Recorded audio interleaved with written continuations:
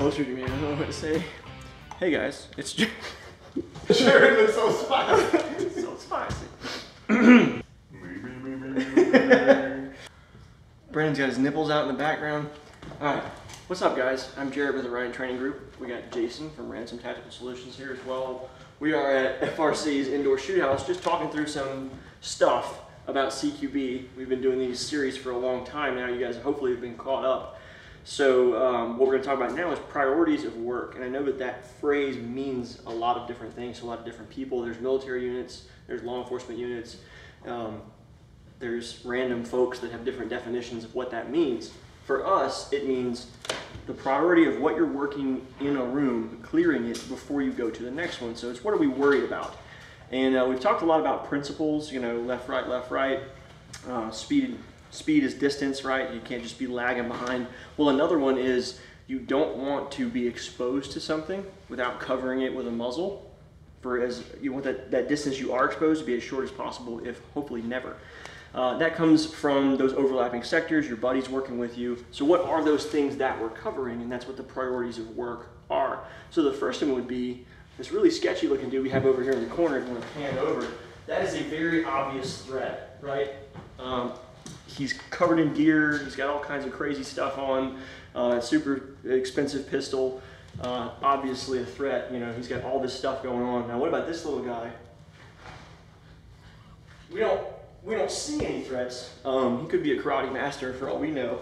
But the idea is we have a known threat person and an unknown threat person. The guy who's not clearly displaying weapons, that doesn't mean he's not a threat. We still have to worry about him, but he's not as high of a priority as the dude in full kit who's laying hate, right? Uh, now, again, we're talking about being in a room. Jay, what would you say is the next thing that's the most important in the room you're in? I'll probably have to say uh, an area inside that room that one of those people can possibly hide behind. Right, so we got this mattress set up here. This could be like a couch or anything else. We got a six foot four dude in full kit that can pretty easily hide behind that. What else could be dead space in the room? Doesn't have to be an object you're hiding behind. B, can you come over here and get by this light stand for us? Come over here, Mitchell, where you can kind of see like as if you were the guy with the with the rifle trying to clear. If you're in this corner, I cannot see Brennan. And he could be holding, he's got a full length rifle and kid over here on the ground. You can't see him, right? So that is dead space in a room. There's physical items you can hide behind. Thank you, B. Uh, what comes next after that? So we've got all the people, got all the places people could hide. Well, what about doors? Is a door that's open or a door that's closed higher priority? We say an open door, and that's because deep angles. So, um, Brennan, stand over here by this, this door for me. Just look at the angles from my flashlight. Inside here for me, boss, right there on the ground. Inside the room. There you go. Brennan's a teammate who's cleared, right? You see the angles we're creating on the ground? I can see him from way back here. I'm all the way in the back of this room. So the idea is there's a deep angle here that we have to worry about in this next room that's open. We've got a closed door over here on this side, on the other side of Mitchell.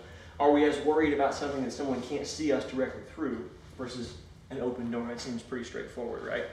So the priority of work doesn't necessarily mean that's what we go do first per se, but it is the order in which we want to address problems before we move to the next thing. We wouldn't want to go into that open door while leaving a person unattended to or dead space uncleared because we're giving up our back to something. Uh, anything you would add to that, Jay? No. Pretty straightforward, right? Anything to add to that, Mitchell? Nope, I'm good. All right, cool. So yeah, if you guys want to come learn about that in person and actually work through those problems in in a team setting or in our solo CQB classes, uh, OrionTrainingGroup.com. We do have a website with all the classes listed. Unrestricted open enrollment for American citizens. So we hope to see you there. Check it out.